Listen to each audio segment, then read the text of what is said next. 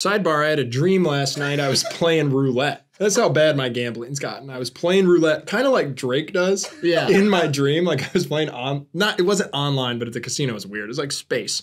But I was doing the strategy he does by splitting numbers and like kind of putting the chips around that way. And I hit what they called in my dream a decagon. the dealer said that to me. He said, "Oh, you hit the decagon," and I bet like five bucks, and it went to fifty five hundred. And then in my dream, I bought my girlfriend a Christmas present With the Decagon. with the decagon winnings. Sir, a second plane has just hit the Decagon. So weird. They're like, "That's a decagon," and I was like, "Yep, just like Drake."